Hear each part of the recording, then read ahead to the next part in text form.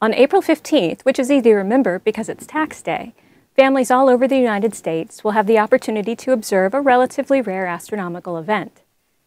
At approximately 1 a.m. Central Daylight Time, a total lunar eclipse will begin.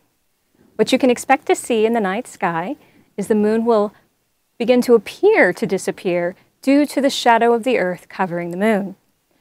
Once the moon is almost completely gone, or apparently so, in the sky, an eerie red glow will appear on the moon.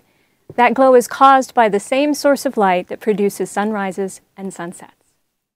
What makes April 15th special is that this will be the first in a series of four eclipses, a tetrad of eclipses, total eclipses that will be visible from the United States. Not all eclipses are total eclipses, and they usually don't fall in such a convenient sequence for us here.